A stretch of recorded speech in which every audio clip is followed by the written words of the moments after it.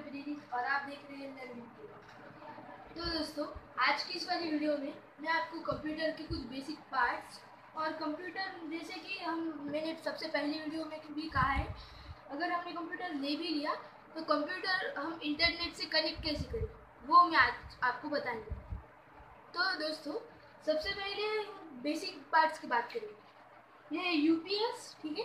ये सीपीयू ये कीबोर्ड ये माउस है, ये स्पीकर है और ये है मॉनिटर ठीक है? तो एक टाइप से ये सारे बेसिक है, ठीक है? और इधर हेडफोन ये मैंने हेडफोन ले रखे हेडफोन और एक एट जी की पेन ड्राइव ठीक है? तो आपको मैं पहले पेन ड्राइव का बता देता हूँ। हमें पेन ड्राइव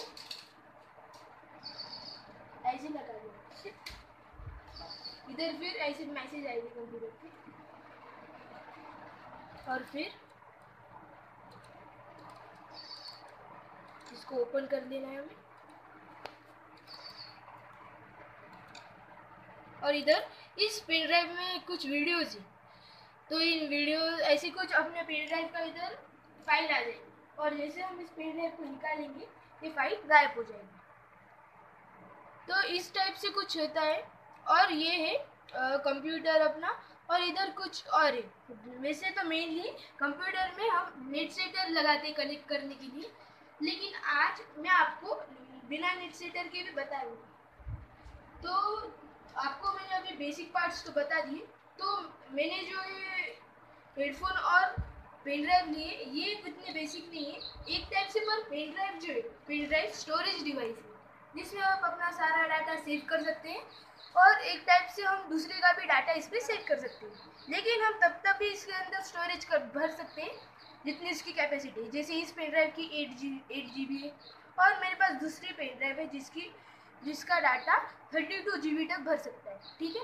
तो इस टाइप के पेन ड्राइव में भी ऐसे एम बी जी बी के फॉर्म्स होते हैं और नेट सेटर भी यूज़ किया जाता है आजकल कंप्यूटर को कम कनेक्ट करने के लिए। नेट सेटर की भी एक ऐसी पेन ड्राइव मिलती है इतनी बड़ी और अगर हमने उसे पेन ड्राइव के इधर लगा दिया तो अपने इधर नेट सेटर का आ जाएगा और जो भी अपना सिम कार्ड है उसके अंदर, वो हमें शुरू करके नेटवर्क कनेक्ट कर है लेकिन आज मैं आपको कि मतलब यूएसबी ड्राइव से कनेक्ट करके बताऊँगा। आप यूएसबी ड्राइव ना हो तो आप कौन से भी मतलब ऐसे चार्जर जो होती है ना अपनी, आप चार, कौन से भी चार्जर के ले सकते हो, ठीक है? तो चलिए देखते हैं।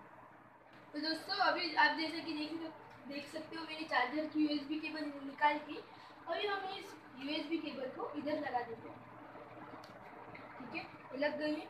और अभी मैं आपके पास जो कौन सा भी डिवाइस हो, जिसका आपको नेट ऑन कर देना है और हॉटस्पॉट ऑन कर देना है। और जो ऐसे दूसरे इसको आपको इसके नीचे, जहाँ पे हम चार्जिंग को लगाते हैं, उधर लगा देना है। इसको उल्टा है तो ठीक है। अभी इधर अपने सीपीयू के इससे अपना मोबाइल भी चार्ज होते रहेगा और जो हमें कनेक्शन करना है वो भी होगा। तो अभी आपको कुछ नहीं करना है, बस इसके सेटिंग में जाना है। इसकी सेटिंग में जाना है आपको और इधर कनेक्शन में जाना है। फिर इधर ऐसा कुछ आएगा मोबाइल हॉटस्पॉट एंड टेलीरिंग। तो इसके ऊपर क्लिक कर देना है और यूएसबी इसके ऊपर क्लिक कर देना है। आप जैसा कि देख सकते हो उधर कुछ लोडिंग हो रही है और आपको जिधर भी आपका नेट कनेक्शन है मतलब जिधर ज़्यादा नेट आता है, उधर आपको अपनी डिवाइस पे रख देना है। तो फ़िलहाल इधर से सीधे पास वाली जगह है, मैं इधर रख देता हूँ।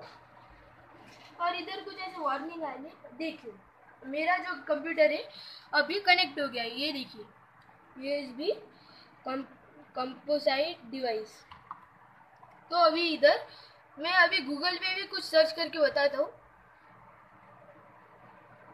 ये देखिए, ऐसे भी कुछ मैसेज आएगा। आपको इसे कट कर देना है और गूगल पे जो भी आपको सर्च करना है वो आप कर सकते हैं। समझो अभी, इधर मैं सर्च करता हूँ।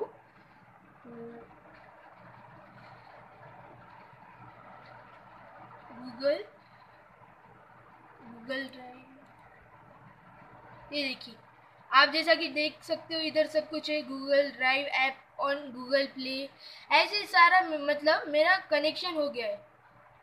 और अगर मैं इस कनेक्शन को निकाल दूँगा आपको मैं वो भी बता दूँ, आप अगर इस ड्राइव को निकाल दोगे बाई चांस अगर निकल जाती है, देखिए, ये निकल गई तो ये यूएसबी का जो है, वो ऑफ़ हो जाएगा और हम इसे शुरू नहीं कर पाएँगे। तो बाई चांस अगर ये निकल भी जाती है, आपको कुछ नहीं, फिर से वाली ड्राइव वैसे ही लगा देनी है जैसे आपने पहले लगाई थी। और फिर आपको सेटिंग में जाके वैसे ही करना है, जैसे अभी हमने बताया। ये देखिए, ये वापस से शुरू हो जाएगा ऐसे।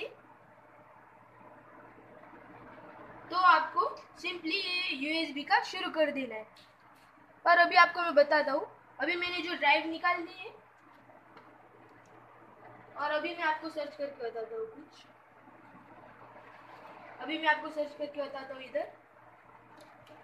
बस सर्च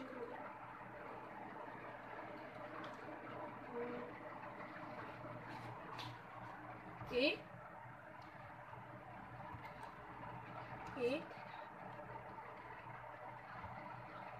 देखिए देखिए, इधर मेरा जो इंटरनेट अभी कनेक्ट नहीं दिखा रहा है तो कुछ इस टाइप से मैंने आज की वाली वीडियो बताई, बनाई है।